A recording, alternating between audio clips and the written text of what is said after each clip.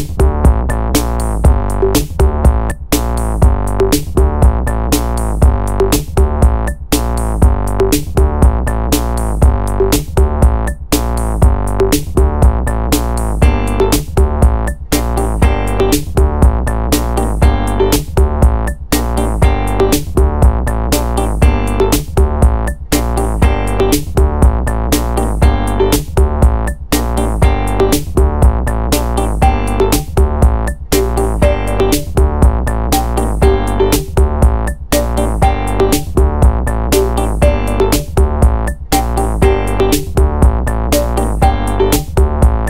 तो कैलाश जी को बहुत बहुत शुभकामनाएँ कि उन्हें पद्मश्री अवार्ड से नवाजा गया और अब वो सबको इंस्पायर कर रहे हैं।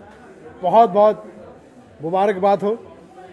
और ऐसे ही मैं शुभकामना देता हूँ कि हमारी म्यूज़िक इंडस्ट्री को हम जैसे फ़ैन को सुनने के लिए अच्छी अच्छी नई नई चीज़ें सुनने मिले, यही शुभकामनाएँ। हाँ नहीं, केवल इतना ही है विशेष टिप्पणी नहीं करना चाहता। मैं कैलाश जी को बधाई देना चाहता हूँ, इतना इतना बड़ा सम्मान उन्हें दिया गया है और मैं भाग्यशाली समझता हूँ स्वयं को कि इस संध्या का भाग मुझे बनाया है। कैलाश जी के लिए बस इतना कहना चाहूँगा कि आप हमें एंटरटेन करते रहिए, गाते रहिए and keep making nation proud we all love you you are an icon for who grown up on your music and we love you thank you very much आज बस ये, जब आप सेलिब्रेट करते हैं तो क्या क्या होता है? उमंगे उठती हैं, तरंगे उठती हैं, बावलापन जागता है, वैसा।